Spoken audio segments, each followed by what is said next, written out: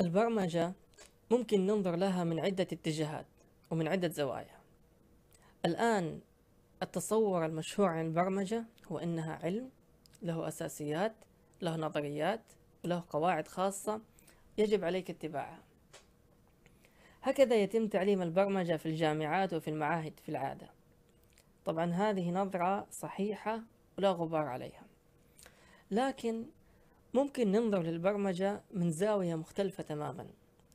ممكن ننظر للبرمجة على أنها عمل إبداعي creative work. صحيح أنت الآن عندما تقوم ببناء برنامجك الخاص لابد أن تتبع الخطوات والأسس البرمجية. لكن هذه الخطوات والأسس البرمجية عددها بسيط. يعني أعتقد ممكن عدها على أصابع اليد الواحدة. الإبداع هو كيف تستطيع أن تستخدم هذه القواعد البرمجية حتى تقوم ببناء برنامجك الخاص. زاوية ثالثة يمكن أن ننظر للبرمجة من خلالها هو أن البرمجة عبارة عن طريقة تفكير. الآن عندك فكرة خاصة بك تريد تنفيذها. حتى تقوم ببرمجتها تحتاج أن تقسمها إلى أفكار أصغر ثم تقوم بتنفيذ كل جزء من هذه الأجزاء بشكل منفصل. في الأخير تقوم بجمع هذه الأجزاء حتى تخرج بالجزء الأول الفكرة الأساسية الأولى التي أردت تنفيذها.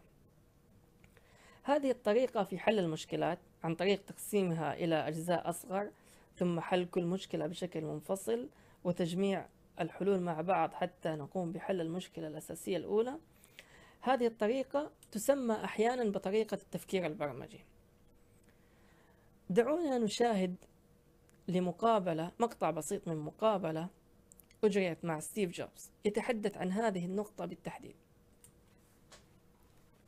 Everybody in this country should learn how to program a computer. Should learn a computer language because it teaches you how to think.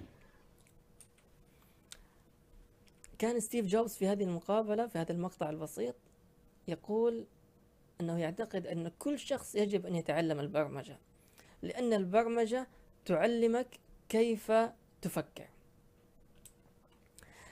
الآن سأضرب مثال حتى تتضح الصورة من عن هذه الزوايا الثلاثة التي يمكن النظر للبرمجة من خلالها. عندما تتعلم اللغة الإنجليزية على سبيل المثال ستبدأ بتعلم المفردات وقواعد اللغة. تعلمك للمفردات وقواعد اللغة ليس هو الهدف. هدفك من تعلم المفردات وقواعد اللغة هو أن تصبح ضليع في اللغة الإنجليزية حتى تتمكن من التحدث أو الكتابة بهذه اللغة.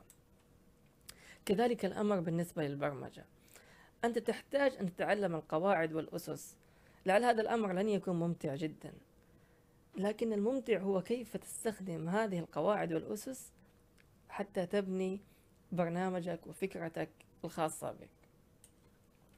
أتمنى منك خلال تعلمك للبرمجة وخلال حضورك لمحاضرات هذه المادة أن تضع هذه الزوايا نصب عينيك. عندما نتعلم أو عندما تكون المحاضرة عن بعض الأسس البرمجية أو بعض القواعد البرمجية دائما ضع نصب عينيك أن هذا أن ما نتحدث عنه هو عبارة عن أداة ستستخدمها لاحقا لتقوم بتنفيذ فكرتك الخاصة بك أنت.